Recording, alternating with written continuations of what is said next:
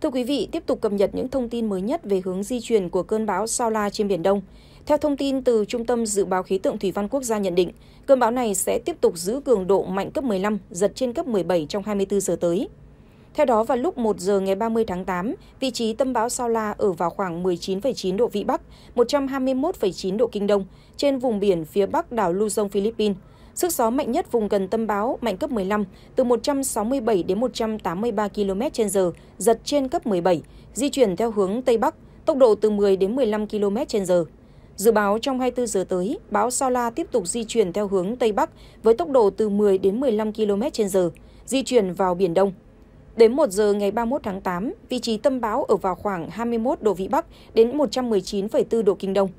Sức gió mạnh nhất vùng gần tâm bão mạnh cấp 15, giật trên cấp 17. Vùng nguy hiểm do bão ở phía bắc vĩ tuyến 18,0, phía đông kinh tuyến 118,0.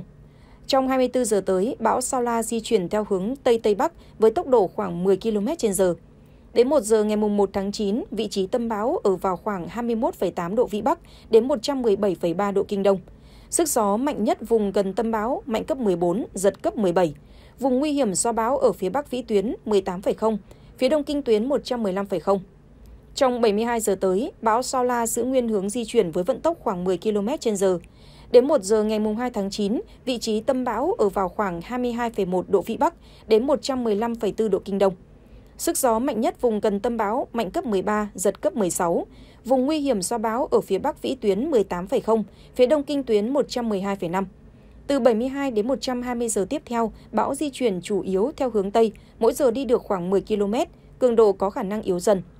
Về tác động của bão Sao La, vùng biển phía đông bắc của khu vực Bắc Biển Đông có gió mạnh cấp 6, từ chiều và đêm 30 tháng 8 mạnh lên cấp 7, cấp 8. Vùng gần tâm bão mạnh cấp 10, cấp 12, sau tăng lên cấp 13, 15, giật trên cấp 17, biển động dữ dội. Vùng biển phía đông của khu vực Bắc Biển Đông, sóng biển cao từ 3 đến 5 mét.